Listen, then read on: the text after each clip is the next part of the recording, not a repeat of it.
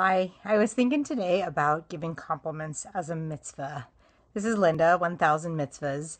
And um, I was thinking about it when I was putting on these earrings. I bought these earrings probably when I was 18 and I was in Israel. And I cannot tell you how many times people have complimented me on these earrings. And whether I'm, you know, dressed in something nice or have my hair done, I love getting compliments. I'm sure you do too. So, a compliment, I think, is just somebody else noticing you as a person.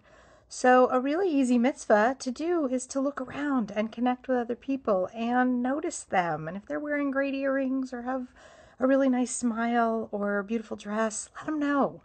Um, you just never know what kind of day they're having. And maybe you're going to turn their whole day around by the little compliment that you give to them. So, be genuine, be authentic, and freely and liberally pass out compliments. It's a great little mitzvah. Make it a great day.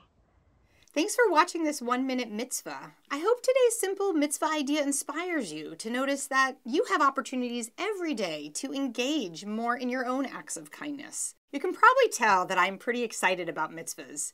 I speak at events, I wrote a book, and now I'm posting videos. And I'd love to hear about your own experiences with mitzvahs, so leave a comment down below for me.